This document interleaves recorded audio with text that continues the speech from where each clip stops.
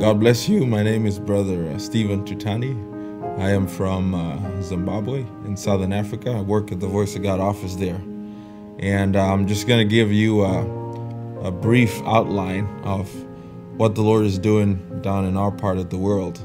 Um, it uh, certainly has been an honor to be a part of this work, but um, really, I, when I was born, my dad had already been working for uh, Voice of God for about eight years.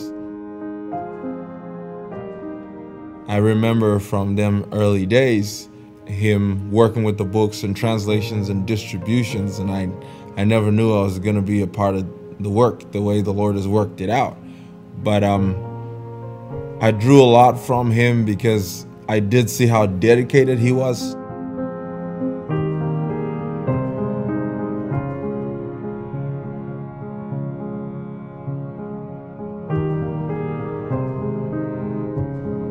Why has he given his life for this cause? And he was very passionate about what he did. Um, I remember in the early days, we still had the office uh, in downtown Harare at the Vanguard House.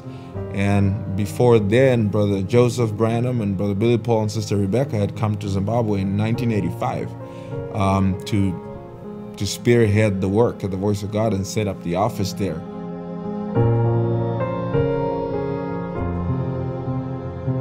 Back then the material was really scarce. There was not as many books and, and, and, and tapes going around.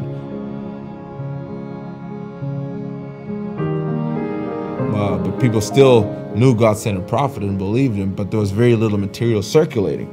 So uh, it was very uh, uh precious. And I remember my dad telling me stories where if, uh, you know, say somebody backslides and is no longer serving the Lord, the brothers would team up and go to his house and be like, So, you know, you've asked him and you've really decided you're no longer serving the Lord. And when they confirmed that was the case, the next question would be, Where are the books?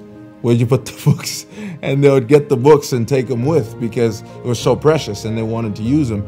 And if I had a book, very few times brothers would not be willing to give his book to the other brother because he knew it was not going to come back and go to the next and the next. So they would bring um, large notebooks and copy out the spoken word book, word for word, what Brother Branham said, and then walk away with your handwritten copy of the book because there was the material was just not in, in good supply until um, Voice of God came in and really set up an organized, well uh, uh, uh orchestrated method of getting, you know, the, the message is out.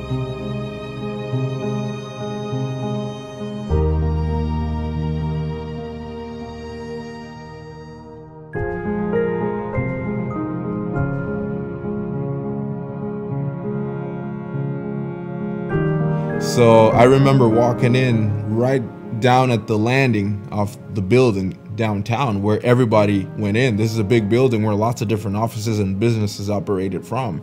But that whole floor and landing area where everybody who had to go into the building went through was packed, almost ceiling high, with boxes and cartons of books and spoken word books. We had just outgrown the place. That's that's just what it was. And uh, so after a few years, um, some of you might already know the testimony, but Brother Joseph felt we needed a larger place to operate from, and and uh, there was a great united effort from all the churches in, in Zimbabwe. We're in the message.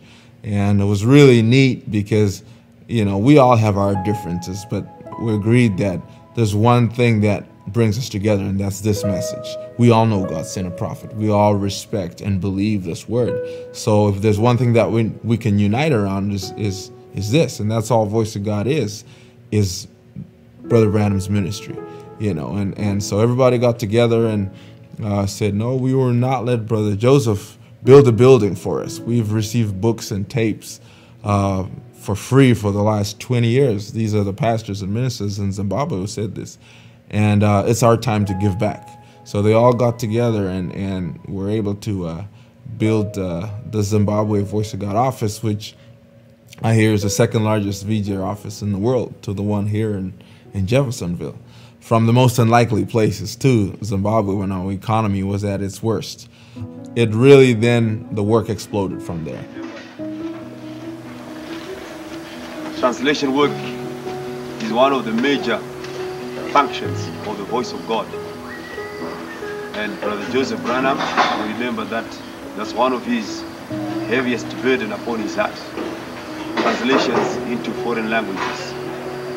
And the Prophet Committee felt, together with the pastors here in Zimbabwe, we needed to have a facility that will make sure that that burden that Brother Joseph has of translations in foreign languages is taken care of.